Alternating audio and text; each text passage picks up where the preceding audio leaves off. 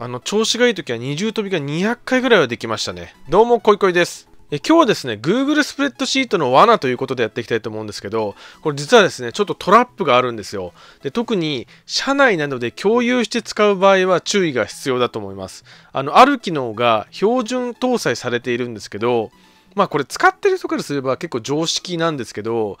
あの割としない人が多いっていう感覚もあるんであの注意が必要だと思ってます。ではどんな機能かというとこれ実は前回のスパイマクロ作成講座っていう動画であの実は Excel で再現してるんですよその機能を。でこれ何かっていうと例えばここに購入量があってこれをまあ全部10分の1して3とか5とか6に変えましたと。で、例えばこれを保存すると、その保存した時刻とか変えた場所が分かります。で、誰が変えたかも分かりますって言ってスパイマクロだってやったんですけど、実はこの機能が Google スプレッドシートは標準で搭載されてるんですね。で、それは超便利なんですけど、あの、ちょっとこの使い方とか保存変更されてるっていう事実を知らない人がいると、ちょっと事故になる可能性があるんですね。で、こちらがスプレッドシートなんですけど、まあ雇用契約書がありますと。で、まあこれ、えー、まあ誰か複数で、えー、これがいじれるようになってるってなった時に例えば時給の1万5000円の部分がおかしくない？1500じゃない？ってなった時にこれがこの誰が間違えて1万5000にしてしまったのか何時に変えてしまったのかってことが分かるってことなんですね。これファイルでこの変更履歴で変更履歴を表示ってやると出るんですよ。でこの変更履歴を見てみると、このどこで何が変わったかがわかるんですね。例えばこれだと、18時13分に1500円で正しく入ってるんですよ。でも次の14分に、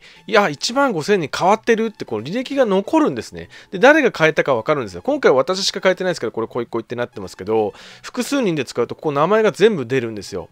で、例えば次に、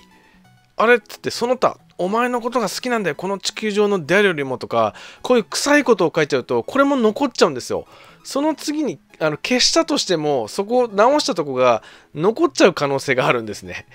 なのでこれ結構怖いんですよ。なんか臭いポエムとか書いちゃうとそれがあの全部名前付きで残っちゃうんですよ。世界丸見えになっちゃう恐れがあるんでここ注意が必要なんですよね。例えばこれ複数人でやる場合もっと大変で例えば新年会の出血表をこれで共有みんなで共有できるから楽だって言ってこれで出血なんか取るじゃないですか。そうするとまあこの状態だと30分ほど遅れますとか空手の大会のため欠席しますでまあおかしくないんですけど、でもこれを実際にこう見てったら、あの、あれっつって、鈴木その子、京極さんが大好きとか、めぐれ十三、帽子の中が気になるとか、こう、はしゃいじゃってるやつがいるっていうのが分かっちゃうんですね。で、これ名前分かっちゃうんで、うわはしゃいでるってのが、こう、公になってしまうと。で、次、次やってみると、うな重わらわらとか、赤井さんかっこいいとか、こういうのがもう全部世界丸見えになっちゃうんですね。なんで、あのー、注意が必要なんですよ。この後消したとしても、その書いて消したってとこまで残っちゃうんで、うーん、これは怖いですよね。なので、こういうのを会社で使うって場合は、いや、本当に知らない人がいるなってのを考慮した上で、あのー、こういうの残るんで注意必要ですよってやらないと、結構こういう事故になる恐れはあると思いますね。はい、ということなんですけども、いかがだったでしょうかと。これ結構僕はありがちだと思いますよ。たった一人でも分からずはしゃいでしまうとあのこういう事故になりかねないですよ。でとんでもない情報が書かれてたなんていう恐れは